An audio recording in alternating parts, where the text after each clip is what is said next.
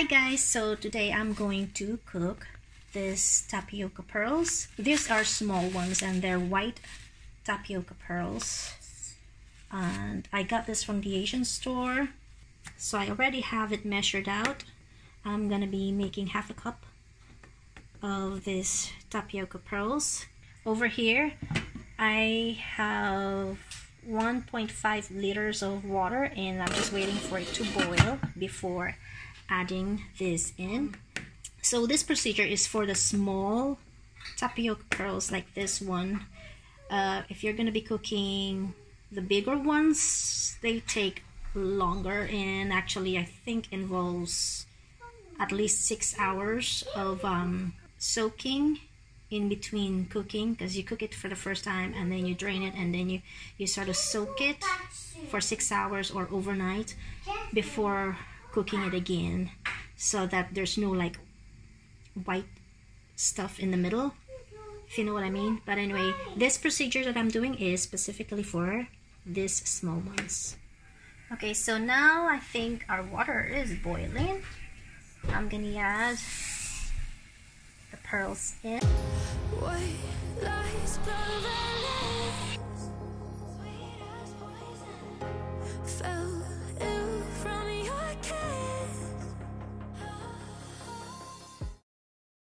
and we are going to let that boil for for five minutes. I'm gonna put the lid back on and I will let that boil for five minutes. Okay. It's been five minutes. I'm just gonna give this a little stir. Show you guys what it looks like. What did I look like so there's still a lot of whiteness into it. So I'm gonna turn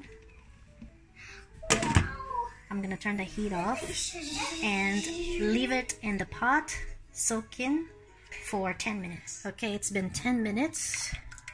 We're gonna check on our tapioca pearls. Whoa I think they're all completely cooked now I thought I was gonna have to cook it again, but literally they're cooked. So I'm gonna go drain this. I've got a strainer here. I'm just gonna pour this out. Yeah, everything is cooked. So what I'm gonna do now is I am going to stop the cooking process by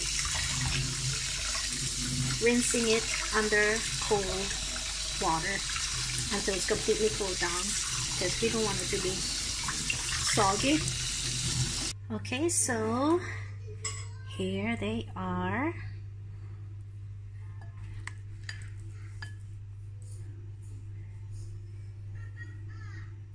That's our small white tapioca cooked.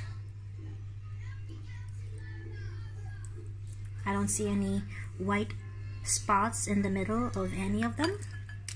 And that means it's all cooked. Thank you guys for watching. See you again next time. Don't forget to subscribe for more videos. And if you like this one give it a thumbs up and share